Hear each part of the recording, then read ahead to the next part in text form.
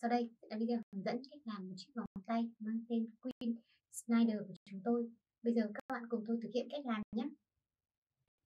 Hôm nay chúng ta sẽ cùng nhau thực hiện cách để làm một chiếc vòng tay mang tên của uh, một huấn luyện viên NBA đó là huấn luyện viên Queen Snyder.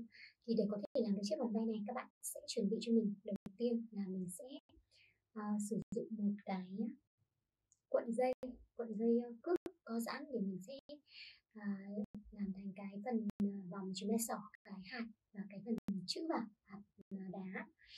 À, và cái phần chữ vào để tạo thành một cái chiếc vòng nhá. Tiếp theo là các bạn sử dụng kéo này ở đây các bạn sẽ thấy là mình có uh, những cái viên ngọc này kết hợp thêm cái phần chữ.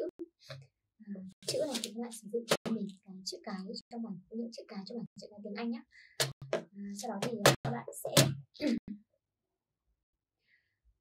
uh, các bạn sẽ lấy cho mình một cái đoạn dây bằng những cái vòng uh, cái cái vòng tay của mình ví dụ như là cái vòng tay của các bạn đến đây chẳng hạn. Các bạn sẽ lấy dư ra một chút nhé để ờ, mình sẽ còn cắt nút cái phần uh, hai cái đầu dây này nhé mình sẽ cắt nó ra này sẽ đoạn như thế này thôi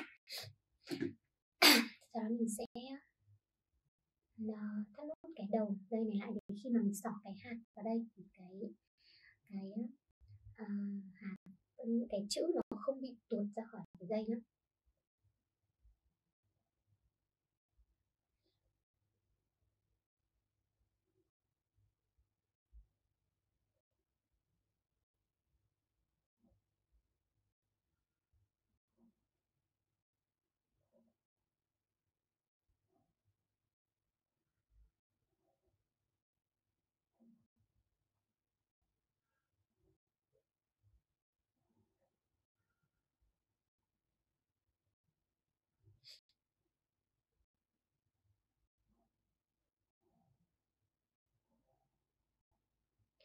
mình sẽ thắt nút nó hơi to một chút như này để à, cái phần lỗ ở cái hạt nó không xuyên qua được à, nó cũng sẽ trôi ra khỏi cái dây nhé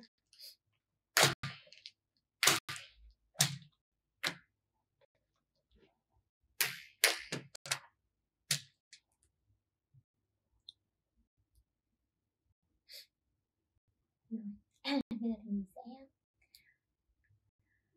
ghép cái hạt à, hình vuông đi mình sẽ lấy hai cái hạt hình vuông này uh, sẽ làm cái phần trang trí đầu tiên cho cái chiếc vòng này nhé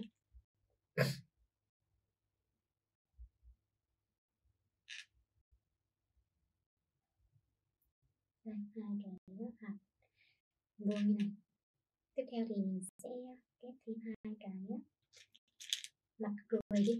Mặt cười đây mình cũng sẽ có mặt cười màu hồng và cái mặt cười màu xanh nhé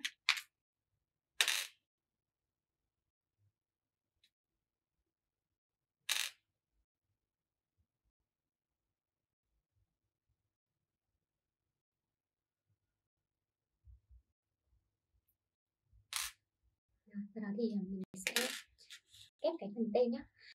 À, Queen Snyder đúng không? Thì chữ cuối cùng nó sẽ là chữ R nhá,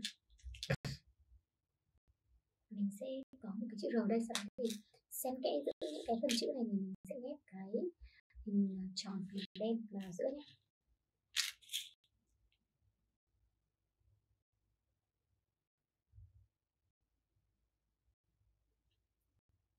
đây một cái hạt hình tròn màu đen như này. À, tiếp theo sẽ là chữ E nhé mình chọn một chữ E màu đen.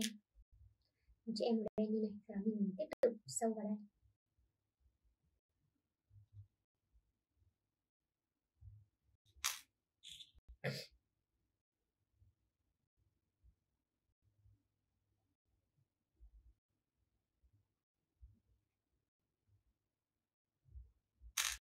Và tiếp tục sẽ là chữ D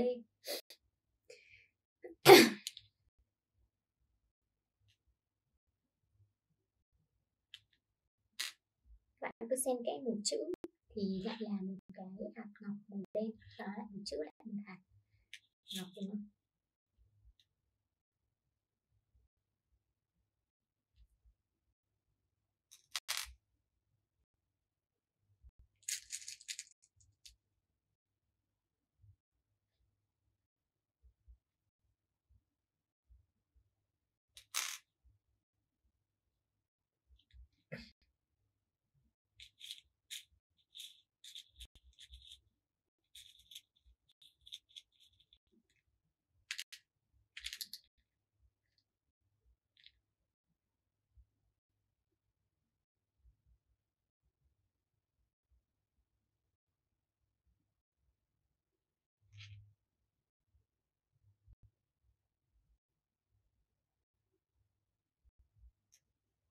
Tiếp theo sẽ là chữ N nhé mình sẽ có cái phần à, chữ N như này.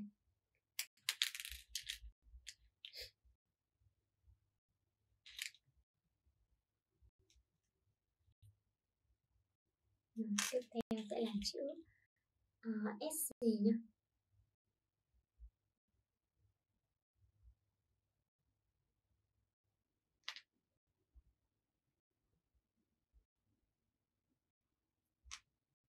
sẽ tìm cái chữ Q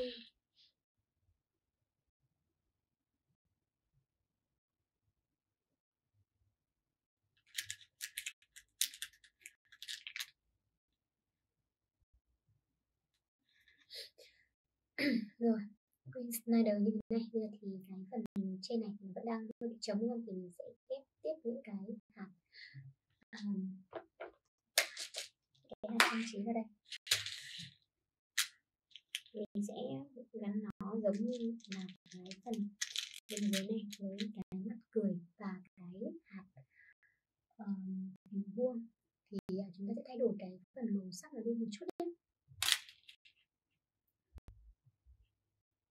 Đây thì mình sẽ có màu à, xanh à, lá cây này với màu đỏ. Cái phần hình vuông cũng như vậy. Xanh lá cây và đỏ hoặc hồng các bạn muốn chọn màu gì cũng được nhé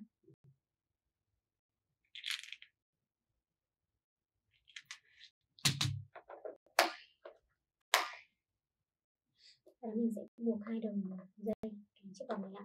Để vì bạn sẽ à, cho xỏ vào tay như này. Các bạn thấy là đã đủ một cái vòng tay rồi. Thì bây là bước quan trọng nhất đó là các bạn sẽ phải thắt nút cái phần dây này sao cho cái phần dây nó sẽ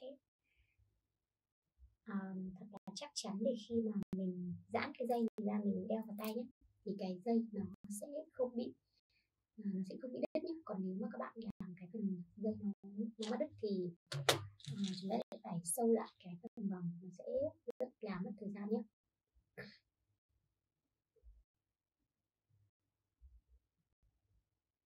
đây các bạn cắt nút xong các bạn phải kéo cái dây ra như này kéo nó ra để thử cái độ chắc chắn của cái dây đó. Như cái phần dây mà mình được chưa chắc thì nó sẽ bị rời ra như này